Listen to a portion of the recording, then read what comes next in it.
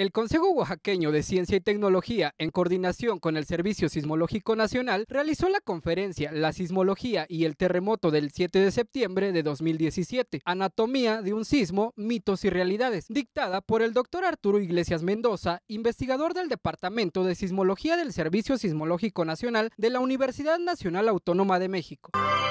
Eh, todos ustedes han sido testigos de, pues justamente, eh, uno de los sismos, uno de los dos quizá, sismos más grandes de los últimos 100 años. Eh, ¿Y por qué, por qué ocurren estos fenómenos? ¿Por qué ocurren estos temblores?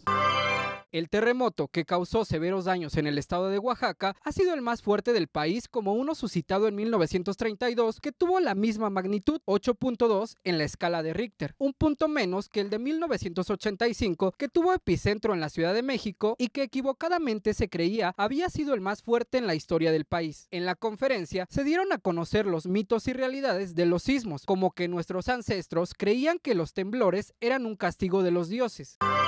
Oaxaca justamente acá está enfrente de la interacción entre la placa de Cox y la placa de Norteamérica.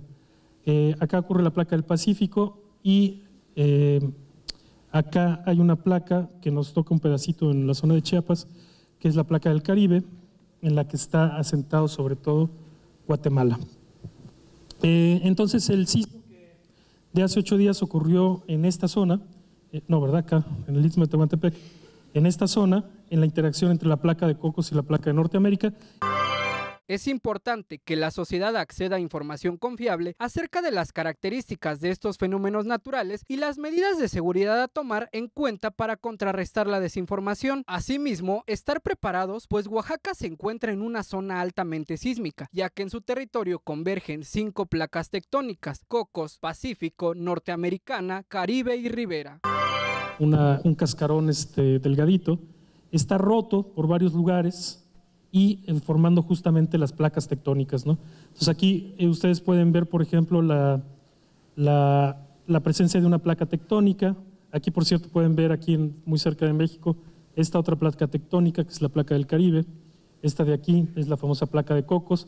Esta de acá es la famosa placa de Norteamérica. Eh, y los puntitos que se ven ahí rojos, que están parece separando las placas, son justamente temblores todos ellos. Entonces cada uno de esos puntitos es un temblor, ¿no? Con imágenes de Pablo Enrique Cruz e información de Alexia Espinosa para MBM Televisión.